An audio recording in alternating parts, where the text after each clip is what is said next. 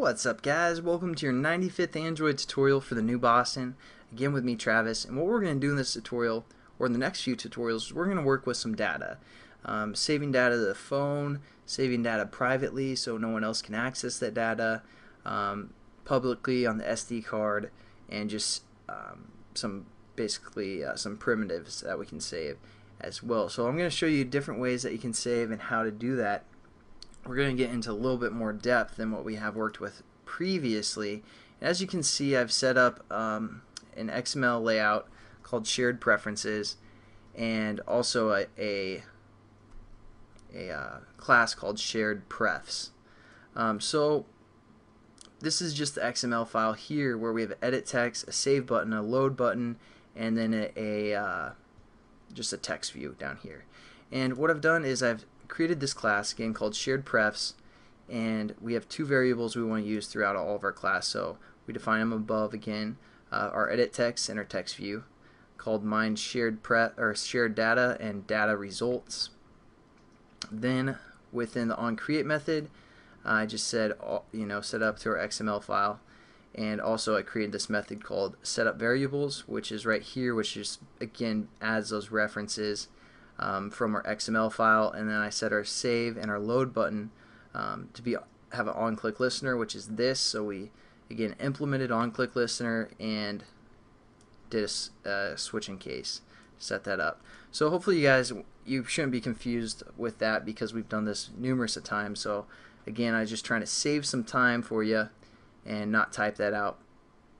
Um, hopefully you guys if you guys have been following the series you should probably be able to do that easily by now in your sleep. So let's get into it. Um, as you can see, this type of data is called shared preferences.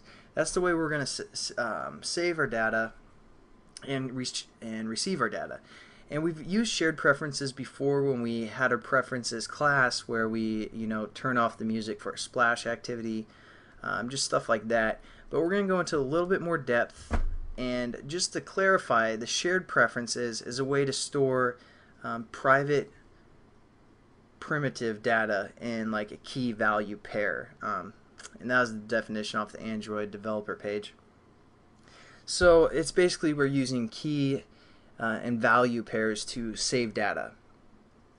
And uh, we can just save like strings, stuff simply like that. Uh, booleans, different types of variables for the most part. So what we're going to do within our onCreate or our onClick method uh, for our save is we're going to get our edit text and read the text and convert it into a string as always. So we're going to say string and then we're just going to call this like string data, something like that. And again, we just use our edit text, which we called shared data dot uh, get text and then to string. So again, nothing new there. And what we've done is we've set up a string um, variable, and this is the kind of variable that we want to save.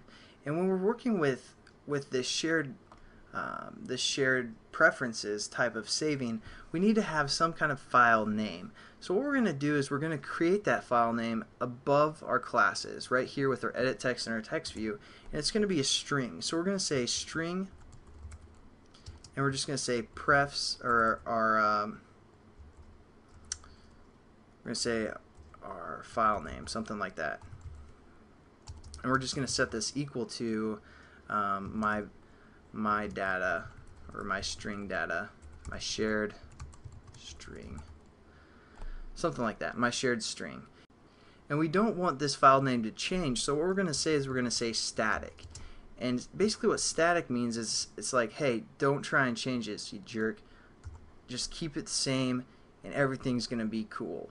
Um, so basically, this file name will never change. Um, basically, is that what's that saying? Or it can't change. And what we're going to say is we're also going to say public so other you know activities can access this file name if we need to.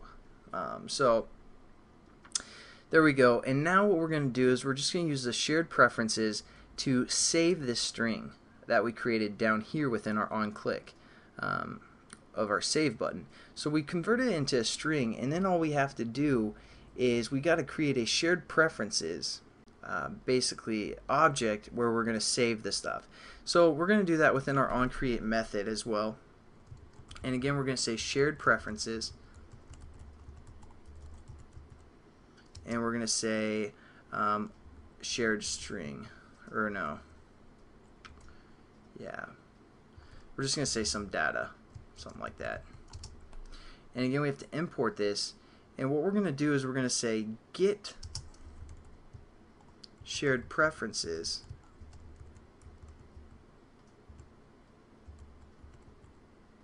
And then what, what kind of uh, we're going to access our file name. So we're going to just say file name. And then comma and zero. So let's check check out what this get shared preferences is. And it basically says retrieves and hold the content of a preference file uh, name returning um, let's just get down to the second parameter so let's just get down to the mode. So basically what the mode says is it's kind of the way that we want to be able to write this. So use 0 or mode private for the default operation, which what we're going to do. But you can also do mode world readable, um, so the world can read, and writable um, to control permissions, and uh, you know some other options that you can use for that second parameter. But now what we've done is we've set up the shared preferences, and what we're going to do actually is also define this above. So we're just going to copy and paste this above our class or above our uh, on create method and then we're going to define it down here some data and now all we have to do is we can basically use an editor to edit uh, what this you know what this file name has within it because right now it's just loading this file name which the first time we run this application it's going to have nothing. So we're loading the file name and now we want to be able to edit it within our save